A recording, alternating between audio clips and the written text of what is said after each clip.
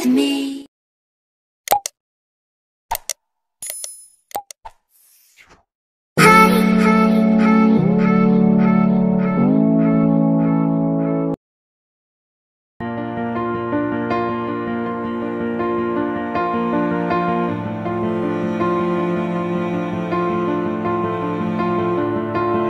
ka muna.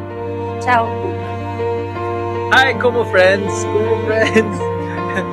Si Daryl yung stylist ko. Siyempre, tanggalin natin yung ano. Kasi, ang dali pa. Nagla-live ka ngayon? Oo, pero tatanggalin ko din. Wala lang. Wala akong magawa. Baka naman, meron kayong pabagsak kay Rita Daniela o Wala eh. May, ano lang. Pawi ako mamaya. Magbabagsak ako ng malaki. si share, si share tayo. Ma, ano yan, maya, maraming pera. eh, Lagi nagbabagsak sa akin. Hello po. Okay, bye po guys.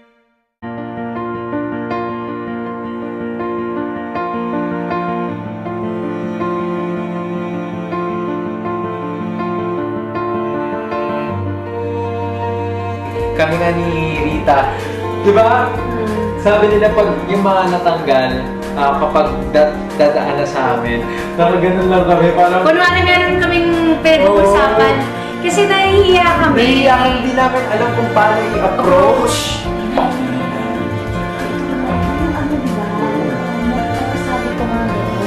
Tapos nung pag lumabas, lumampas na yung flash. Yung clasher na, na, na, na hindi nakapasok sa top of the